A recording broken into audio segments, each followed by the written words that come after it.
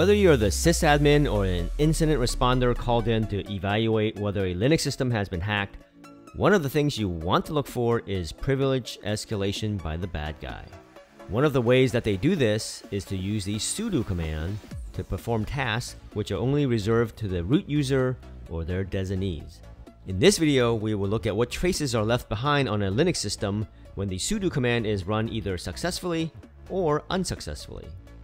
As we have seen in this other video, only certain users are allowed to perform the sudo command. So let's take a look at an example when an unauthorized user tries to use sudo.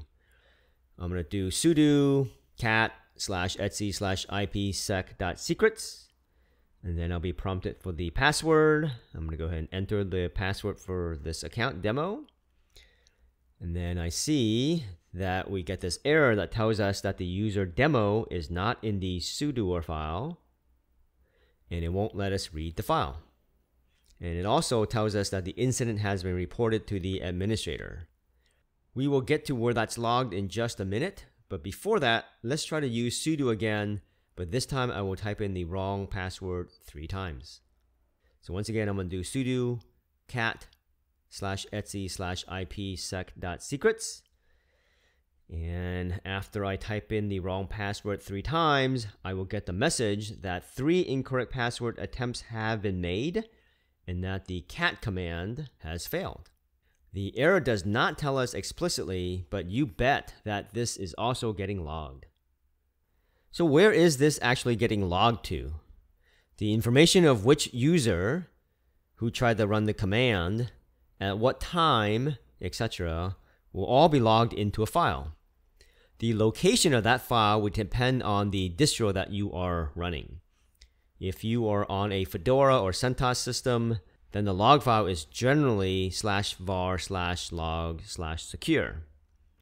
If you are on a Debian or Ubuntu system, then the log file is generally slash var slash log slash auth.log. But the log location can also be customized in the slash etc slash sudoers file. On my Parrot OS system where systemd is running, I can see the logs with the journalctl command. And the parameter that I want to give the journalctl command is the command that I am interested in, which in this case is sudo. So I'm going to do journalctl and then sudo. And what I get back is a failure to add match error because we actually need to specify the full path name of sudo.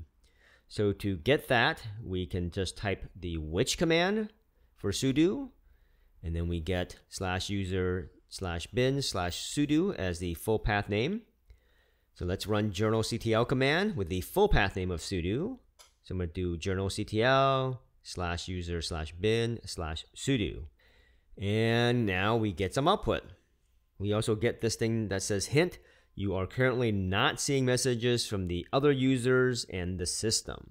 And it tells us that users in the groups named ADM and systemd-journal can see all the messages. That's fine for now as I'm just showing you what the output is from this demo account looks like. But if you want to truly check out all the sudo logs, you should really be doing this journalctl command with an account that is in one of those two groups. And to see which account is in those groups, we can do a grep of the slash etc group file for those group names. So I can do grep dash e adm dash e systemd dash journal slash etc slash group. And we see that the account named Blue Monkey Forensics is in the ADM group. So we should run the journalctl command as that user to see everything. And like I said, we won't do that for this demo as it's actually going to give us too much output. So speaking of output, one thing about journalctl is that by default, it paginates the output so we don't see all the text depending on the window size and uh, text size, etc. So to overcome that, I will add the dash dash no pager option and then run it again. So journalctl slash user slash bin slash sudo dash dash no dash pager. So now we can see all the text for each entry. as opposed to the clipped one that we saw before, right? On the right hand side of the window, every line just gets clipped. So let's look at what we have. In this entry, it is recording that at this time there was an authentication failure, which means that the user was not able to provide the correct password. And the user that got the authentication failure was named demo, and they're on tty slash dev slash pts slash 3. For a tutorial on virtual terminals, watch this video up here. And on the subsequent lines, we see that the demo user who is not in the sudoers file was trying to be root and running the command cat slash etc slash ipsec.secrets. And they were doing it from the folder named slash home slash demo. Now what I'm going to do is log into the system using the Blue Monkey Forensics account, which is part of the ADM group. So now when I look at the logs, I see all the results, right? So I'm going to do journalctl slash user slash bin slash sudo dash dash no dash pager. The output will contain all log entries related to sudo regardless of the user, and it's going to date back to when this log file uh, kept track. And let's go ahead and ignore the events that happened before my last reboot because that's just too much.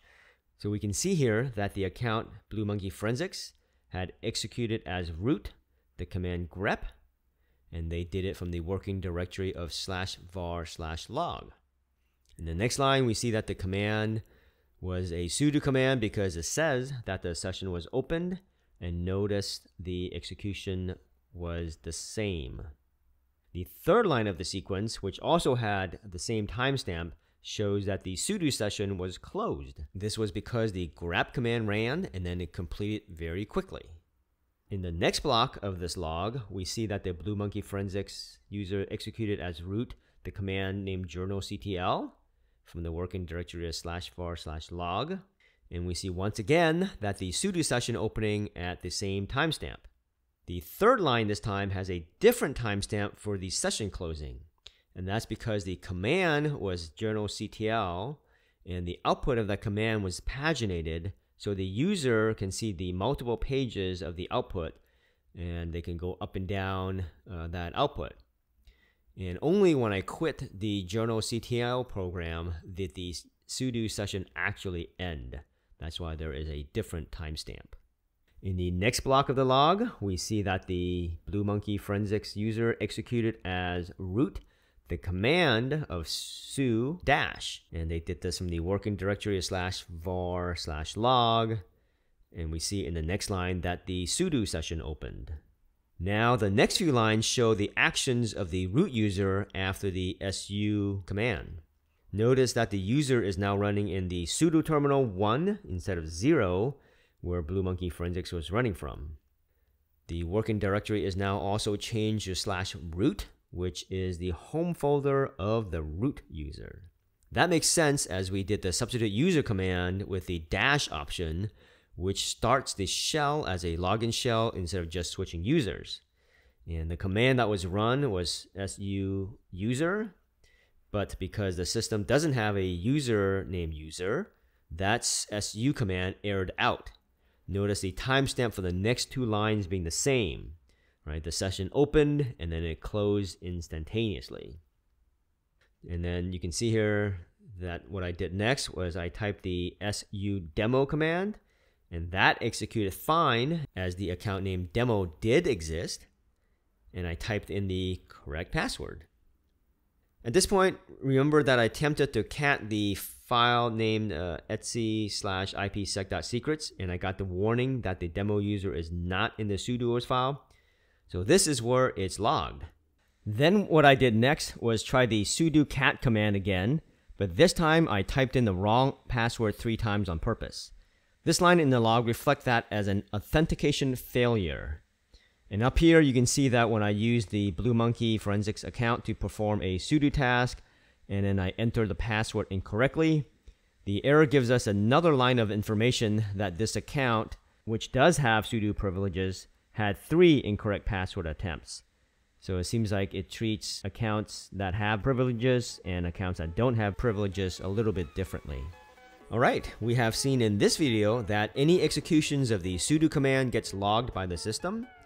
Successful sudos are logged and a corresponding session opened and session closed times are recorded. If a user who does not have root privileges attempt to perform a sudo, that event is logged. The difference is the name of the errors being the user is not in the sudoers file or authentication failure, which corresponds respectively to the correct or incorrect password being typed in. This may be an important thing to be aware of if you are a sysadmin or DFIR analyst, as having excess sudo failures from unprivileged users may be a clue that your system is being hacked, and it can help you determine whether unwelcomed intruders have been attempting to perform privilege escalation on your systems. I know that you will enjoy another Linux forensics video like this one here. Click on the blue monkey to subscribe. Thanks for your time and happy hunting.